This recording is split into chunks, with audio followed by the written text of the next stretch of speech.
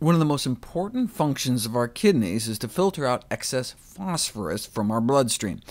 And so when our kidney function declines, phosphorus can build up in our bodies and cause something called uh, metastatic calcification, where your heart valves and muscles and other parts of your body can build up uh, calcium deposits, and eventually result in uh, skin necrosis, gangrene, amputations, all sorts of bad stuff.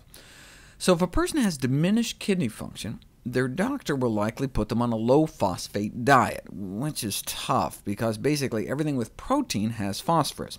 So both plant foods and animal foods have phosphorus. But when omnivores have been compared to those eating vegan, vegans had significantly less protein leaking out into their urine, a sign of intact kidney function. So while they concluded that you know, these results can confirm the usefulness of vegetarianism here, and support the use of a vegan diet for patients with kidney failure. Maybe it was just because the omnivores were getting a higher protein load, and we know that lower protein diets appear to delay the progression of kidney failure. So did the plant-based diet help because they were eating less protein, or because the body somehow is able to handle plant protein better than animal protein?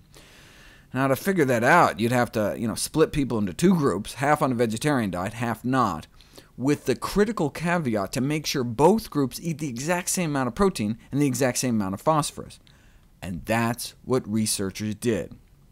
Published recently in the Journal of the American Society of Nephrology, they took vegetarians and put them on a meat diet, and then took meat eaters and put them on a vegetarian diet even though phosphorus and protein intake were kept the same in both diet groups, here's the level of phosphorus stuck in the bloodstream of those on the meat diet compared to those on the veg diet.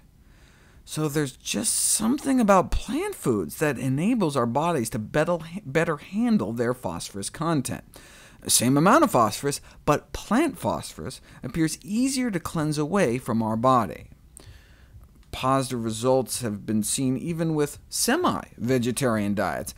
But the reason the new study observed more dramatic differences after only one week was perhaps because the pure vegetarian diets used in this study. Taken together, a vegetarian-based diet may be beneficial for the control of phosphorus balance in patients with chronic kidney disease.